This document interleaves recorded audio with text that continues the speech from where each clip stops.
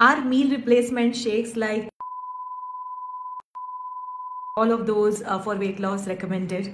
Hi, I'm nutritionist Amita Gadre. Essentially, these shakes are restricting your calories these weight loss programs where you are seeing people lose 6 to 7 kg uh, weight in a month also don't allow you to eat any other processed ultra processed foods you're not allowed to eat outside as in uh, you know eating out or ordering in or biryanis and pizzas and pastas or any of the high calorie foods are not allowed.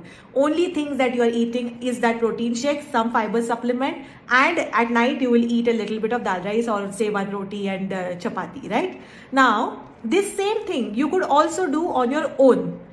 Trust me, if you start uh, following this practice of not ordering in, delete all your food ordering apps, okay? Stop buying food which is classified as ultra processed and junk and don't eat it at all. And limit yourself to two, even uh, two full meals balanced for protein and carbs. Even for you uh, do this for one month, I guarantee that you will lose the same amount of weight as those meal replacement shakes. You know another thing that will happen if you do that? You will end up saving a lot of money and being healthy or you won't even get any problems like being permanently constipated. Try it and let me know.